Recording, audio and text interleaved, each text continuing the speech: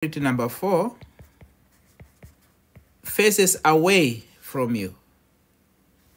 So in this case, we see that this priority number four is going in. So it's going away. So that's the right orientation. Then after that, number three,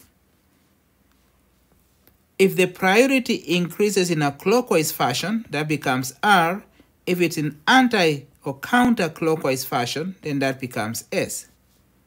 Now let's look at the priorities. We have priority number one here, number two, number three. So it's increasing this way, which is basically that, and therefore that makes that stereo center S configuration. So that becomes S. So that's S. If you enjoyed this presentation, please like this video and also support the channel by subscribing.